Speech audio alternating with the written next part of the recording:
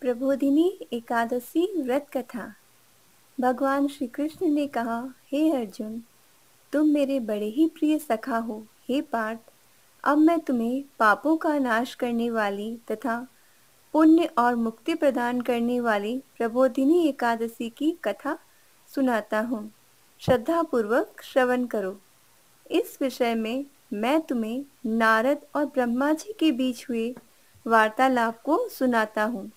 एक समय नारद जी ने ब्रह्मा जी से पूछा, हे पिता, प्रबोधिनी एकादशी के व्रत का क्या फल होता है? आप कृपा करके मुझे यह सब विधान पूर्वक बताइए।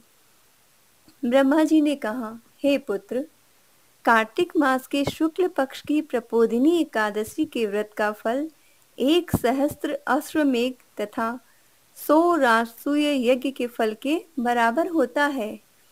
नारद जी ने कहा, हे पिता, एक संध्या को भोजन करने से, रात्रि में भोजन करने तथा पूरे दिन उपवास करने से क्या क्या फल मिलता है? कृपा कर सविस्तार समझाइए। ब्रह्मा जी ने कहा, हे नारद, एक संध्या को भोजन करने से दो जन्म के तथा पूरे दिन उपवास करने से सात जन्म के सभी पाप नष्ट हो जाते हैं। जिस वस्तु का त्रिलोक में मिलना दुष्कर है, वह वस्तु भी प्रबोधिनी एकादशी के व्रत से सहज ही प्राप्त हो जाती है। प्रबोधिनी एकादशी के व्रत के प्रभाव से बड़े से बड़ा पाप भी क्षण भर में नष्ट हो जाता है। पूर्व जन्म किए हुए अनेक बुरे कर्मों को प्रबोधिनी एकादशी का व्रत क्षण भर में नष्ट कर देता है। जो मनुष्य अपने स्वभावानुसार प्रबोधिनी एकादशी का विधान पूर्वक व्रत करते हैं, उन्हें पूर्ण फल प्राप्त होता है। हे पुत्र, जो मनुष्य श्रद्धा पूर्वक इस दिन किंचित मात्र पुण्य करते हैं, उनका वह पुण्य पर्वत के समान अटल हो जाता है।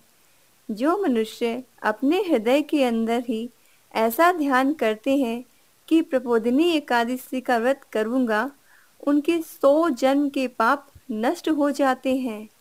जो मनुष्य प्रबोधिनी एकादशी को रात्रि जागरण करते हैं, उनकी बीती हुई तथा आने वाली दस पीढ़ियाँ विष्णु लोक में जाकर वास करती हैं और नरक में अनेक कष्टों को भोगते हुए उनके पितृ विष्णु लोक में जाकर सुख भोगते हैं। हे नारद ब्रह्म हत्या आदि विकट पाप भी प्रबोधिनी एकादशी के दिन रात्रि के जागरण करने से नष्ट हो जाते हैं। प्रबोधिनी एकादशी को रात्रि को जागरण करने का फल अश्वमेघ आदि यज्ञों के फल से भी ज़्यादा है। सभी तीर्थों में जाने तथा गो, स्वर्ण, भूमि आदि के दान का फल प्रबोधिनी रात्रि के जागरण के फल के बराबर होता है। हे पुत्र, इस संसार में उस मनुष्य का जीवन सफल है, जिसने प्रबोधिनी एकादशी के व्रत के द्वारा अपने कुल को पवित्र किया है। संसार में जितने भी तीर्थ हैं तथा जितने भी तीर्थों की आशा की जा सकती है, वह प्रबोधिनी एकादशी का व्रत करने वाले के घर में रहते हैं। प्राणियों को सभी कर्मों का त्याग करते हुए भगवान श्री हरि की प्रसन्नता के लिए कार्तिक माह की प्रबोधिनी एकादशी का व्रत अवश्य करना चाहिए। जो मनुष्य इस एकादशी व्रत को करता है, वह धनवान, योगी, तपस्वी तथा इंद्रियों को जीतने वाला होता है, क्योंकि एकादशी भगवान विष्णु की अत्यंत प्रिय है। इस व्रत के प्रभाव से मनुष्य जन्म मरण के चक्र से मुक्त हो जाता है। इस एकादशी के व्रत के प्रभाव से कायिक, वाचिक तथा मानसिक तीनों प्रकार के पापों का शमन हो जाता है। इस एकादशी के दिन जो मनुष्य भगवान विष्णु की प्राप्ति के लिए दान, तप, होम, यज्ञ आदि करते हैं, उन्हें अनंत पुण्य की प्राप्ति होती है। प्रबोधिनी एकादशी के दिन भगवान श्री हरि का पूजन करने के बाद यौवन और वृद्धावस्था के सभी पाप नष्ट हो जाते हैं। इस एकादशी की रात्रि को जागरण करने का फल, सूर्य ग्रहण के समय स्नान करने के फल से सहस्त्र गुना ज़्यादा होता है। मनुष्य अपने जन्म से लेकर जो पुण्य करता है, वह पुण्य प्रबोधिनी एकादशी के व्रत के पुण्य के समान व्यर्थ है।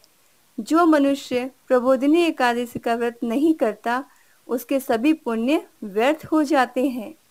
इसलिए हे पुत्र तुम्हें भी विधान पूर्वक भगवान विष्णु का पूजन करना चाहिए। जो मनुष्य कार्तिक माह के धर्म परायण परायण होकर अन्य व्यक्तियों का अन्न नहीं खाते, उन्हें चंद्रायन व्रत के फल की प्राप्ति होती है। कार्तिक माह में प्रभु दान आदि से उतने प्रसन्न नहीं होते, जितने की शास्त्रों की कथा सुनने से प्रसन्न होते हैं। कार्तिक माह में जो मनुष्य प्रभु की कथा को थोड़ा बहुत पढ़ते या सुनते हैं, उन्हें सौ गायों के दान के फल की प्राप्ति होती है। ब्रह्मा जी की बात सुनकर नारद जी बोले, हे पिता, अब आप एकादशी व्रत का विधान कहिए और कैसा व्रत करने से किस पुण्य की प्राप्ति होती है, कृपा करके समझाइए। नारद जी की बात सुनकर ब्रह्मा जी बोले, हे पुत्र, इस एकादशी के दिन मनुष्य को ब्रह्म मुहूर्त में उठना चाहिए और स्नानादि से निवृत्त होकर व्रत का संकल्प करना चाहिए। उस समय भगवान विष्णु से प्रार्थना करनी चाहिए कि, हे प्रभु, मैं आज निराहार रहूँगा, दूसरे दिन भोजन करूँगा, इसलिए आप मेरी रक्षा करें। इस प्रकार प्रार्थना करके भगवान का पूजन करना चाहिए और व्रत प्रारंभ करना चाहिए। उस रात्रि को भगवान के समीप गायन, नृत्य बाजे तथा कथा कीर्तन करते हुए रात्रि व्यतीत करनी चाहिए। प्रबोधिनी एकादशी के दिन कृपणता को त्याग कर बहुत से पुष्प, अगर, धूप आदि से भगवान की आराधना करनी चाहिए। शंख के जल से भगवान को अर्घ देना चाहिए। इसका फल तीर्थदान आदि से करोड़ गुना अधिक होता है। जो मनुष्य अगस्त्य पुष्प से भगवान का पूजन करते हैं उनके सामने इंद्र भी हाथ जोड़ता है। कार्तिक माह में जो बिल पत्र से भगवान का पूजन करते हैं, उन्हें अंत में मुक्ति मिलती है। कार्तिक माह में जो मनुष्य तुलसी जी से भगवान का पूजन करता है, उसे दस हज़ार जन्मों से भी के सभी पाप नष्ट हो जाते हैं। जो मनुष्य इस माह में तुलसी के दर्शन करते हैं, या स्पर्श करते हैं, या ध्यान करते हैं या कीर्तन करते हैं या रोपण करते हैं अथवा सेवा करते हैं, वे हज़ार कोटि युग तक भगवान विष्णु के लोक में वास करते हैं। जो मनुष्य तुलसी का पौधा लगाते हैं, उनके कुल में जो पैदा होते हैं वह प्रलय के अंत तक विष्णु लोक में रहते हैं। जो मनुष्य भगवान का कदम पुष्प से पूजन करते हैं, वह यमराज के कष्टों को नहीं पाते। सभी कामनाओं को पूरा करने वाले भगवान विष्णु कदम पुष्प को देखकर अत्यंत प्रसन्न होते हैं। यदि उनका कटम कदम के पुष्प से पूजन कर किया जाए तो इससे उत्तम बात और कोई नहीं है। जो गुलाब के पुष्प से भगवान का पूजन करते हैं, उन्हें निश्चित ही मुक्ति प्राप्त होती है। जो मनुष्य, बकुल और अशोक के पुष्पों से भगवान का पूजन करते हैं वे अंतकाल तक शोक रहित रहते हैं। जो मनुष्य भगवान विष्णु का सफ़ेद और लाल कनेर के फूलों से पूजन करते हैं, उन पर भगवान अत्यंत प्रसन्न होते हैं। जो मनुष्य भगवान श्री हरि का दुर्वादल से पूजन करते हैं, वे पूजा के फल से सौ गुना ज़्यादा फल पाते हैं। जो भगवान का शमी पत्र से पूजन करते हैं वे भयानक यमराज के मार्ग को सुगमता से पार कर जाते हैं। जो मनुष्य चंपक पुष्प से भगवान विष्णु का पूजन करते हैं, वे जीवन मृत्यु के चक्र से मुक्त हो जाते हैं। जो मनुष्य स्वर्ण का बना हुआ केतकी पुष्प भगवान को अर्पित करते हैं, उनकी करोड़ों जन्म के पाप नष्ट हो जाते हैं। जो मनुष्य पीले और रक्त वर्ण के कमल से सुगंधित पुष्पों से भगवान का पूजन करते हैं, उन्हें श्वेत दीप में स्थान मिलता है। इस प्रकार रात्रि में भगवान का पूजन करके प्रातः काल शुद्ध जल की नदी से स्नान करना चाहिए। स्नान करने के उपरांत भगवान की स्तुति करते हुए घर आकर भगवान का पूजन करना चाहिए। इसके बाद ब्राह्मणों को भोजन कराना चाहिए और दक्षिणा देकर आदर सहित उन्हें प्रसन्नता पूर्वक विदा करना चाहिए। इसके बाद गुरु की पूजा करनी चाहिए। ब्राह्मणों को दक्षिणा देकर नियम को छोड़ना चाहिए। जो मनुष्य रात्रि स्नान करते हुए करते हैं, उन्हें दही और शहद का दान करना चाहिए।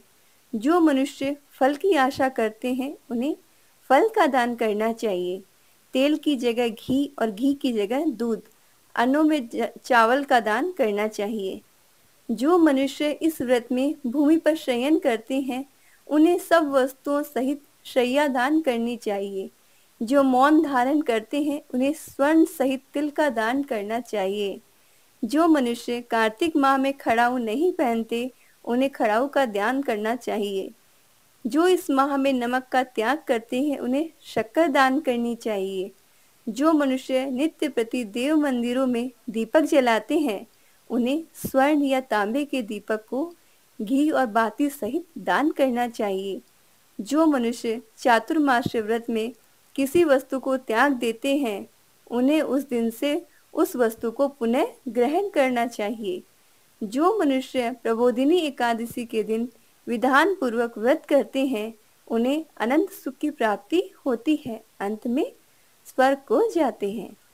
जो मनुष्य चातुर्मास से व्रत को बिना किसी बाधा के पूर्ण कर लेते हैं, उन्हें दोबारा जन्म नहीं लेना पड़ता।